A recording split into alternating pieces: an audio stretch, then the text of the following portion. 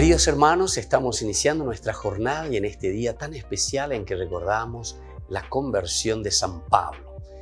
Esto sí que es hermoso para nosotros porque verdaderamente Dios llama a todos, nos llama a una verdadera conversión. Pablo, que cuenta su historia y que él es un fariseo convencido, que incluso va para vengar, para matar a esta gente que está creando divisiones dentro del judaísmo. Es esa nueva comunidad judeocristiana, y sin embargo es ahí en ese camino donde Dios le llama, le toca y ahora se va a convertir en uno de los apóstoles más conocidos y gracias a él todos los paganos, es decir, todos los que estamos extramuro, extralímites, nosotros recibimos la gracia del Señor a través de la prédica del Evangelio de Pablo. Hechos de los Apóstoles, leemos capítulo 22 del 3 al 16. En aquellos días Pablo dijo al pueblo, yo soy judío, nací en Tarso de Cilicia, pero me crié en esta ciudad. Fui alumno de Gamaliel y aprendí hasta el último detalle de la ley de nuestros padres. He servido a Dios con tanto fervor como ustedes muestran también ahora.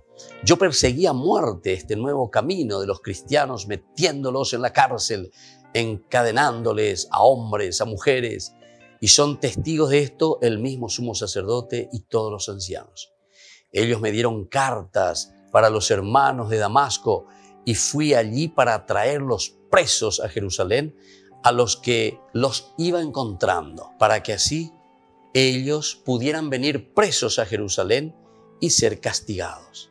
Pero en el viaje, y aquí está el cambio entonces de Pablo tan importante, me encontré con el Señor. Al mediodía de repente una gran luz del cielo me envolvió con su resplandor.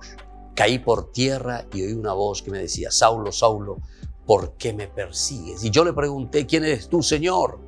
Me respondió, yo soy Jesús de Nazaret a quien tú persigues. Y así sigue esta narración tan interesante, queridos hermanos.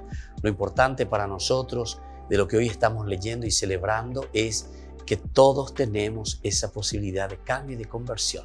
Así como Pablo comienza narrándonos quién era Pablo, era un fanático verdaderamente fariseo y por eso se puso a perseguir a la iglesia de Dios.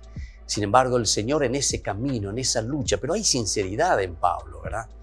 Y en ese camino, en esa sinceridad, de esa misma fuerza, el Señor vuelve eh, a dar vuelta a la tortilla. Ya es ahí lleva. Pepe la yara y ahí entonces Pablo, de haber sido un gran perseguidor de la iglesia, ahora se vuelve un gran apóstol del Evangelio y de la buena noticia. Pidamos también en esta fiesta de San Pablo que toque nuestro corazón. Tal vez nosotros no estamos tan metidos con el Señor. Somos hasta perseguidores de la iglesia con nuestras actitudes o con nuestra forma de ser. Pero el Señor hoy también nos está diciendo, Saulo, Saulo, ¿por qué me persigues? Y desde ahí podamos también nosotros dar la vuelta a la tortilla y seamos buenos apóstoles para la iglesia, para Dios, para la comunidad. Que la bendición de Dios descienda sobre ustedes, el Padre y el Hijo y el Espíritu Santo. Amén.